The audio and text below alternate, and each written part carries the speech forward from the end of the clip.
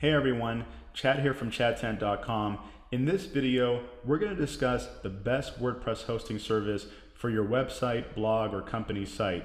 If you already have a hosting provider, no problem, you'll still want to listen up. For more information on this topic, you can click on my post in the description section.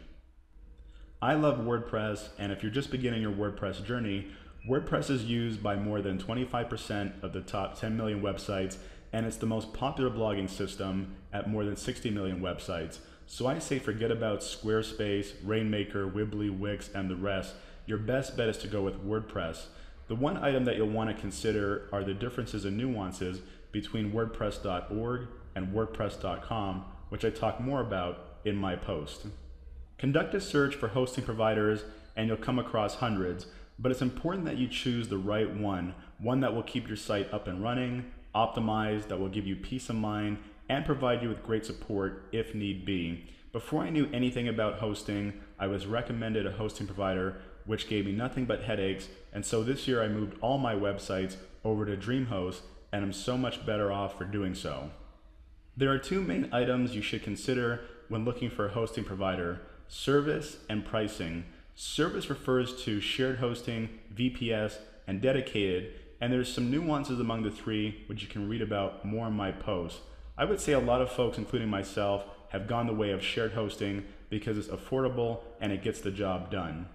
The price that you pay for your hosting services will depend on a couple of items. Number one, how many sites are you planning to launch? One or many?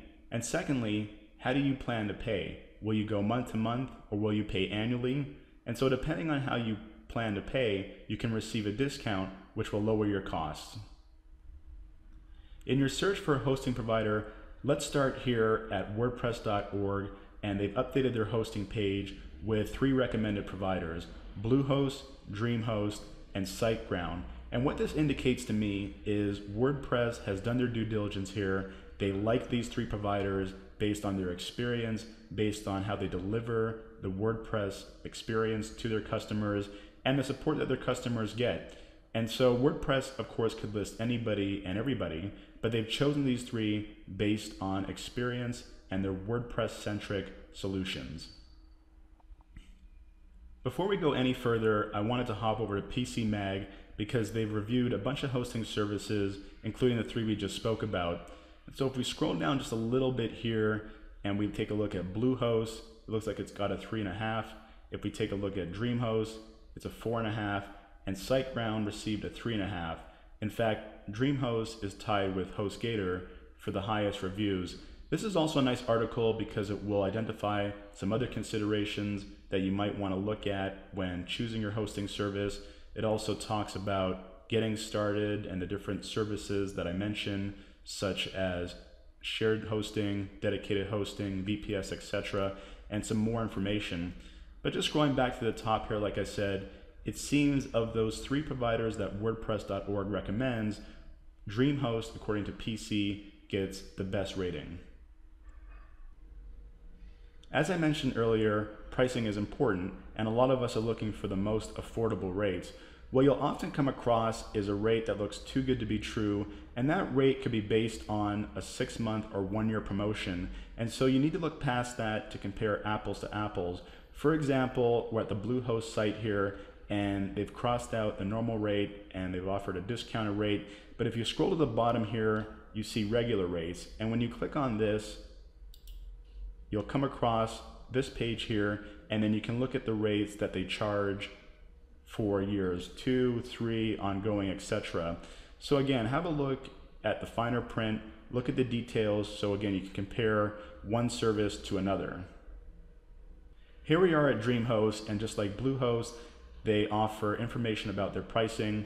And so if we scroll down, you can see that they offer some plans here. And this is what I mentioned earlier about getting a discount if you're willing to pay a couple years up front. Over here is just some information about what is in their plans, and that's something also look at when you're thinking about which plan to consider. SiteGround, same deal. On their pricing page, they talk about their plans. And this is what I spoke about when you're considering one website or multiple websites because it will impact the price you pay monthly. I just want to take a couple of seconds to show you the ins and outs and user interface and layout of my previous provider compared to the provider I have now in DreamHost. So with this previous provider, you can see here that there's information all over the place. It looks a little bit dated. I'm not a big fan of the control panel. And it also seems like this provider was always trying to sell me on something. If we hop over to DreamHost, you can see here my dashboard is very clean. It has a very minimalistic layout. It's very easy to navigate the side panel here, and they're not always trying to sell me on something. So once again, do consider those items we spoke about when looking for a hosting provider because it will make your online experience that much more worthwhile. I look forward to seeing my other videos. Bye for now.